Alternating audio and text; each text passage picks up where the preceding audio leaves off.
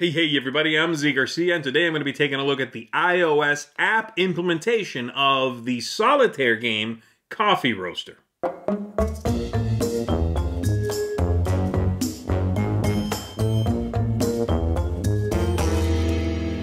Coffee Roaster is a bag building game. It's a game in which you are going to be uh, trying to roast the perfect cup of coffee. Certain tokens representing the beans, and the aroma, how robust the uh, coffee is, they're going to be put in a bag that's shaken up and you pull a certain number of them based on the round in which you are.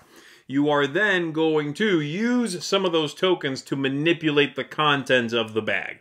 You can keep some coffees from roasting, so you can set some beans aside and then throw them back into the bag without their numbers going up, which means they are roasting.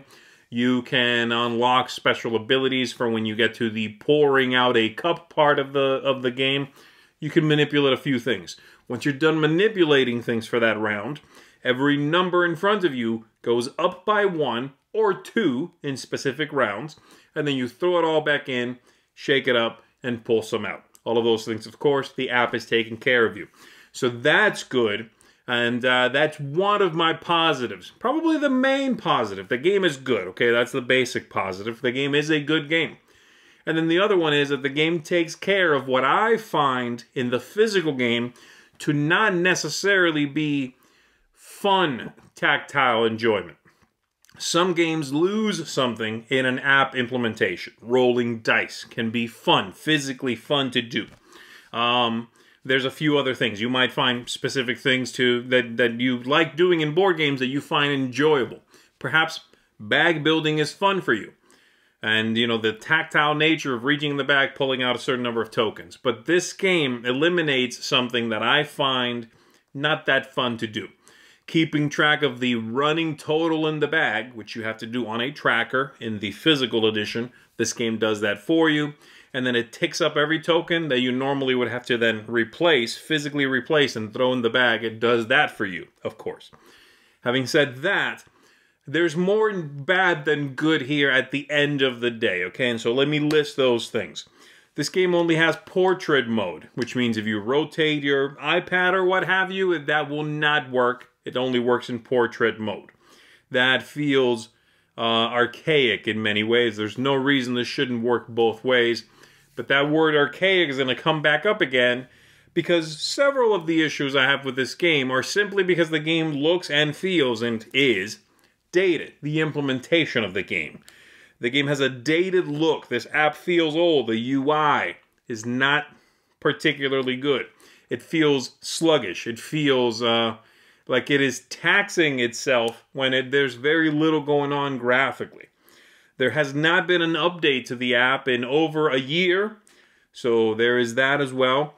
There are several comments that talk about glitches in the uh, App Store. These are not game-breaking glitches. These are not. Uh, this is not anything that's going to crash the app from what I've seen playing it. But there are a couple of things that should work that don't seem to work. Okay. Uh, specific combinations. If you're trying to roast a specific coffee, folks are, are having trouble with that, all right? Uh, finally, I think the instructions included to help you learn and play the game could be a little bit better. I'd love if they would give you perhaps a, an animated tutorial, a guided tutorial, something a little bit more than just, here's a big block of text, this is what this means, this is what you should do. The big block of text floats in from the bottom, and then you dismiss it, it floats all the way out. It's very, again, sluggish is a good way to put it. So overall, who do I recommend this to? Uh, solo players who already like this game, I think are going to be, for the most part, fine with this implementation, okay? You are going to have a much easier time taking Coffee Roaster, the app, with you than Coffee Roaster, the bag building game, which is not that small. It's not a large box, but it's not that small for a solitaire game. But for the most part, I would say this is a little too rough. It seems to not really be getting attention. It seems to be perhaps they're done messing with it and updating it to really recommend it to someone who wants to discover an excellent, welcoming, enjoyable solitaire board game turned into an app. So to those people, I would say uh, there's probably a better there there are probably better games out there that have been turned into apps that do a great job of playing solitaire. All right, so that's how I feel about Coffee Roaster as an app, an iOS app. My score for this one, because of the positives coming mostly from the source material, the board game, and the negatives coming from the implementation that I'm showing you here, it's going to go pretty much right down the middle. So I rate this a 5 out of 10. I, again, would not necessarily recommend this one to, to uh, the uninitiated, but if you like Coffee Roaster, if you want to have a portable version of it, if, uh, you know, an electronic version of it, you already know how to play, so that's not going to be a problem. Yes, it's not going to be flashy, it's not going to be shiny, but it'll work, and the gameplay is, no pun intended, robust. So there you go, 5 out of 10 for the Coffee Roaster iOS app. My name is Zee Garcia, everybody.